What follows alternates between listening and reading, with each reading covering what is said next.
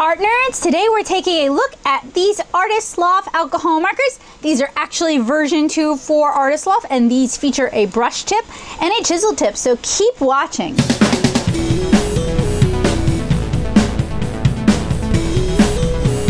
So in the past, Artist Loft has re released alcohol markers that utilize the same base body as the Kuretake Color markers. You can check out a review of those markers, meaning, well, the Artist Loft, but I also think I have the Color as well, by clicking this card here for my blog.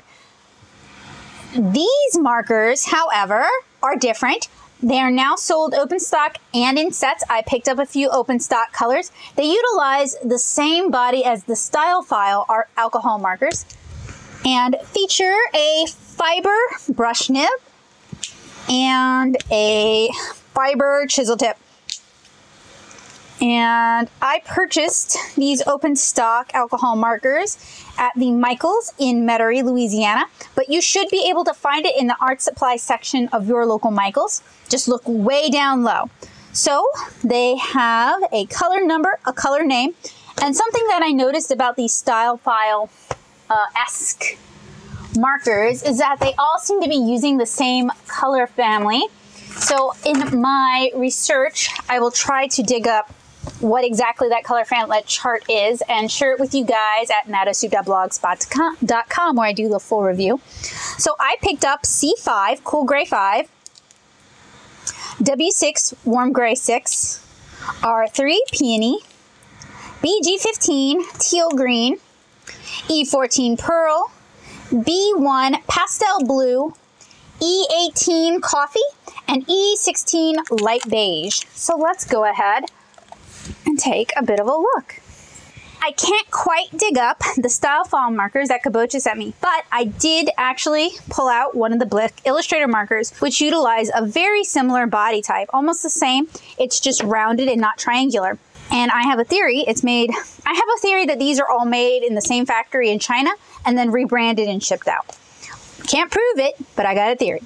Anyway, we've got E18 Coffee, E18 Coffee, two totally different brands. This is a Blick Illustrator marker. This is the Artist Loft Illustrator marker or alcohol-based marker. They even use, other than the Blick, no, not quite. However, I do have a little bit of information here, distributed by MSPCI. That gives me something to look into. That's kind of cool.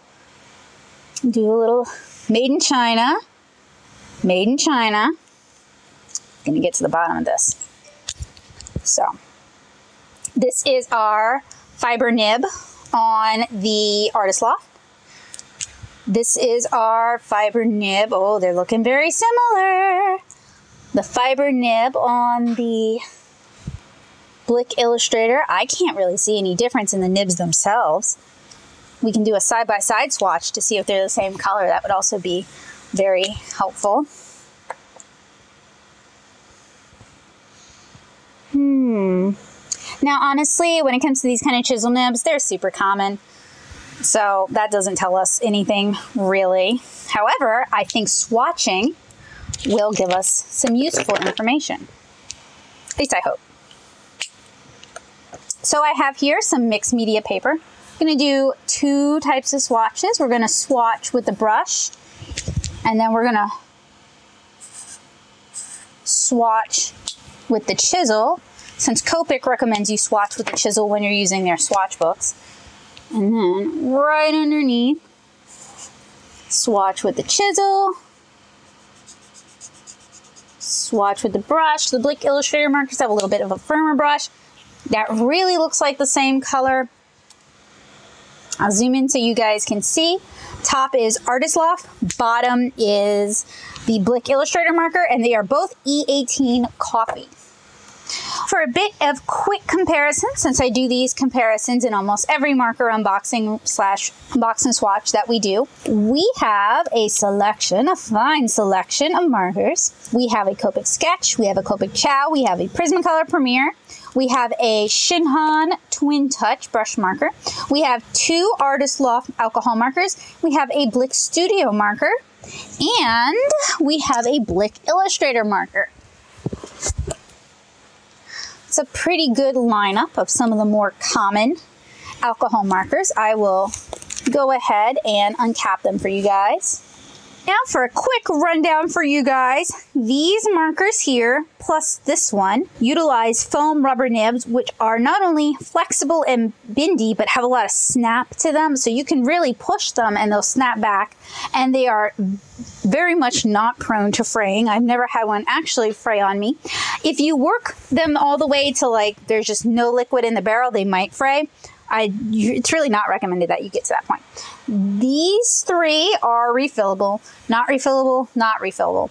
Now over here, we have our Artist Loft, we have our Blick Illustrator. They both have um, compressed fiber nibs that's very prone to fraying, very prone to getting broken in and mushy. And they have very similar chisel nibs, but honestly, chisel nibs are kind of, as you guys can kind of see, they're all the same. The Blick Studio and the Artist Loft markers have a color number and then a color name uh, on the cap. There's no name or number on the body of the marker itself. On Prismacolor markers, you get, this is a blender marker, but you get the color family name, like the color family name, so PB121, right? Um, you get those on the cap as well as usually you get a swatch of the color on the cap, a representation of the color on the cap and on the body, plus the color's name on the body with the color family number. With the touch markers, you get a color family number and then a name. And I believe you get it on the body as well. Maybe not. With the Copic Ciaos, you get the color number but you don't get it on the caps. The caps are just a representation of the color, so that would be clear colorless blender. But you get the name on the body, and same goes for the Copic sketch, I believe. Yeah, no, you just get the uh, family name, and then you get the name and number on the caps. Next, I'm going to do a little bit of blender compatibility testing. We're going to go with a nice bright color. I didn't really buy too many nice bright colors. And we're going to use the brush and I'll zoom way in so you guys can see what I'm doing. And that is BG15 teal green. We're gonna first use Copic. And I applied a pretty generous amount and I'm gonna mark where I put it so that we can find it later. And it seems to lighten it and also shift it a little more blue. Now, I actually don't remember if these have a colorless blender, so I will have to get back to you guys when I do the field test and let you know. Okay, then the Shinhan Twin Touch. You do that in the same area. Then finally, the Prismacolor. And you guys can already probably see starting to fray very little usage. I, that's why I really kind of rail about those compressed fiber tips is they fall apart so quick.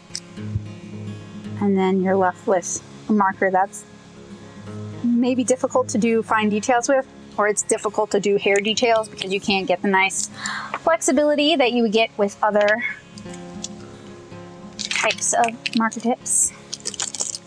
Okay, so I did not do a super great job getting a spectrum because I'm not looking to acquire more junk. So I kind of only picked the colors I could see myself using. So I'm going to try to do a blended spectrum. Look at this, we have some weird discoloration. And the paper I'm using is a mixed media paper. It is Canson XL mixed media. And um, it's a little bit thirsty and a little bit rough, but not overly rough. I'm also the sort of person who uses alcohol markers on uh, cellulose base watercolor paper. So, you know, I use all kinds of crazy stuff. And they do actually seem to blend and interact fairly nicely. I noticed that with the Blick Illustrator markers. And if you're interested in seeing a review, as well as a field test for those, you can click this card here, and then in 15 seconds I'll have the card for the field test. But even just kind of, oh, this one did not have the brush properly installed. But even just kind of swatching this, I can tell I really didn't get enough colors. I was trying to be judicious in my color choice. There is good interactivity though. And it would only be a little cheating if I augmented with the Blick Illustrator marker since I'm fairly certain it's basically the same thing in a slightly different body. I'll go ahead and do labeled swatches. Oh, I want to use the chisel nib.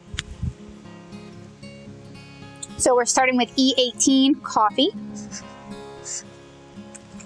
which is what I had before starting this. B1 pastel blue. And I'm doing two lines straight across, no overlapping so that I can get a good idea of what the color is like. Just one layer. C5 cool gray, like my cat. E16 light beige. BG15 teal green. E14 pearl. W6 warm gray. That's what happens when you let Bowie go sit in the sun. And then R3 peony which is one of my favorite flowers. So here are all our swatches nicely labeled. I'm going to go ahead and line up the caps. The caps are actually fairly accurate, which is, and then I say that, and then cool gray is actually warmer than it is in reality. And then teal is different. Oh, I spoke too soon. All right, so that's what we got. I will probably end up slivering and picking up some more colors. Not too many, hopefully just three. So I will see you guys soon when I do the field test. I hope you guys will keep watching this channel until then. And I hope you guys have a great day so far. These are very similar to the Blick Illustrator markers. Um, they're a little bit more expensive. I'm gonna double check on the price before I commit to a price. But I remember they were like three to four dollars each. They are not refillable. You can't replace the nibs. Um, I mean, if you have limited access to Copics, like if Michael's is like your main art supply store in your area and you're not allowed to order online, these aren't bad. They're, they wouldn't be my first choice, but I know how expensive Copics can be at places like Michael's. So these could be really great if you just want to pick up like one or two colors to play around with alcohol markers. But given the fact that they have those fiber nibs and I'm just